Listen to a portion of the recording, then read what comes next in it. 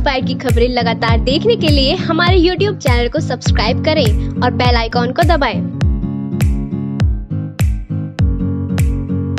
इस खबर के प्रायोजक है KMC health city and KMC cancer institute, उत्तरी भारत का आधुनिकतम सुविधाओं से युक्त चिकित्सा संस्थान, बागपत रोड, मेरठ। मैं तनु शर्मा, स्वागत करती हूँ आप सभी का फ़र्स्ट बाइट की बॉलीवुड गॉसिप में। तो क्यों किया था इमरान? हाशमी ने आलिया भट्ट के साथ। फ़िल्म में काम करने से इनकार। क्यों कंगना रनौत को मिली? फ़िल्म धागा की शूटिंग रोकने की धमकी। आखिर कौन सी बॉलीवुड फ़िल्म में दीपिका पादुकोण के साथ थ्री फ़िल्म में स्क्रीन शेयर करेंगे?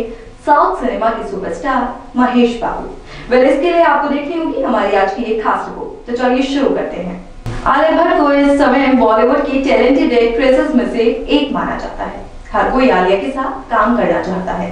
लेकिन कम ही लोग जानते हैं कि इमरान हाशमी ने आलिया भट्ट के साथ एक रोमांटिक फ़िल्म को करने से इनकार कर दिया था। जी हाँ लेकिन ये बात जितनी अजीब है, उसका रीजन उतना ही दिलचस्प है। दरअसल इमरान हाशमी और आलिया भट्ट रिश्ते में कज़न है। इमरान हाशमी रिश्ते में आलिया भट्ट के पिता महेश भट्ट के भांजे लगते हैं।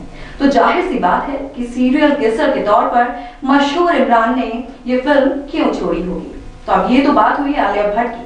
लेकिन अगर हम बात करें बॉलीवुड एक्ट्रेस कंगना रनौत की तो वह अक्सर अपनी राय देने से चूकती नहीं है, चाहे वो मामला किसान आंदोलन का हो या फिर कोई और। वे अक्सर अपने ट्वीट्स को लेकर सुर्खियों में रहती हैं। और अब कंगना रनौत एक बार फिर से सुर्खियों में है। दरअसल बॉलीवुड एक्ट्रेस कंगना रनौत ने शुरुआत से ही किसान आंदोलन का विरोध कर रही है।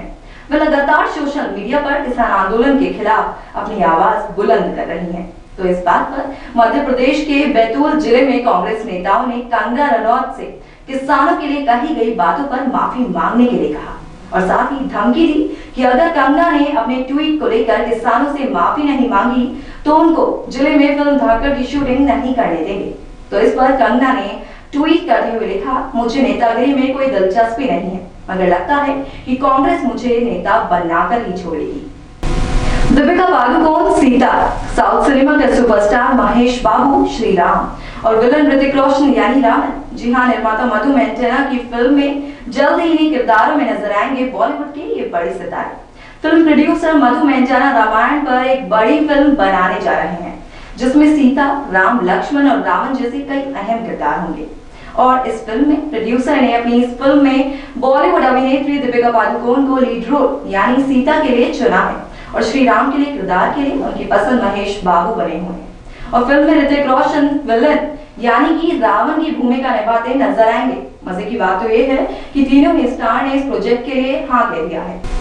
वहीं मधु मेंटेना की इस फ़िल्म का बजट 300 करोड़ रुपए बताया जा रहा है। अब इस बात में कितनी सच्चाई है, ये तो फ़िल्म के रिलीज़ के बाद ही पता चलेगा।